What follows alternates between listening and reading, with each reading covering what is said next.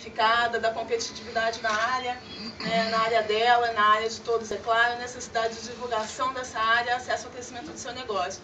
E aqui embaixo ela falou de um exemplo e a partir daí nós começamos um, um grande debate. Né? Ela falou sobre a possibilidade do Rio de Janeiro ser lançado como uma grande capital da moda e ela pensou, como é que eu posso participar disso?